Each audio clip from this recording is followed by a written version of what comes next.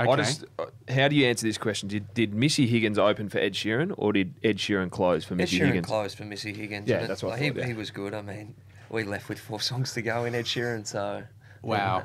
Okay, Yeah. there you We go. weren't Yeah. there to see it. yeah, Where where'd the love for Missy Higgins come from? Oh, if you listen to her music, you'll probably love her too.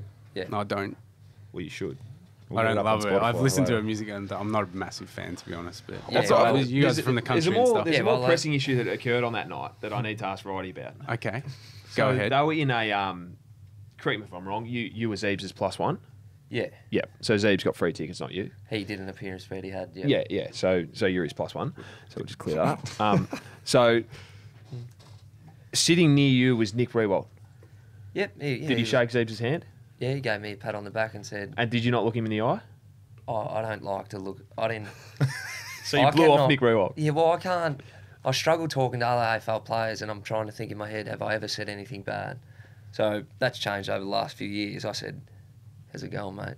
So nice he so you couldn't look him in the eye. No, I did, yeah. But it was awkward. I had to go to one side and to let him pass. And I had a couple of um, Carlton uh, AFLW players sitting next to me as well. Yeah, so it was just an awkward situation, really, wasn't it, Jack? And we had, like, Gil McLaughlin was there. We'll get to him um, later in the podcast. Um, Oh yeah, no. Oh, can we actually just get how was his performance there? he, He was enjoying it. yeah, I, Is if he anyone saw dancing? us dance, we'd be, we, we were awkward there. But I he was Gil was dancing. really he was really dancing, yeah. Ca- Has he got any moves? Can we get him on here Um, to see what he can do?